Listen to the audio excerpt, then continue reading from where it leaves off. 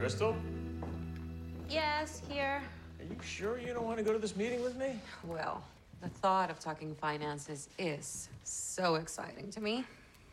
But I'm gonna let you have all the fun. Well, this should be the final meeting before the soccer league signs off on our bid. I have complete faith in you.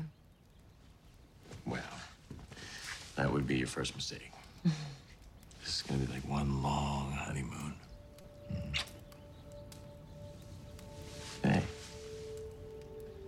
okay? I'm fine. I'm just tired. I can think of something to wake you up. Talking finance.